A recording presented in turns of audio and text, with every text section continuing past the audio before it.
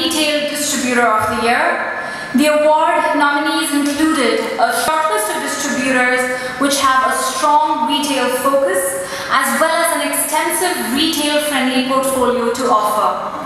The winner of the category this year is one of the leading distributors of the region that has for long held a formidable portfolio of brands and has good reach into the retail channels. The award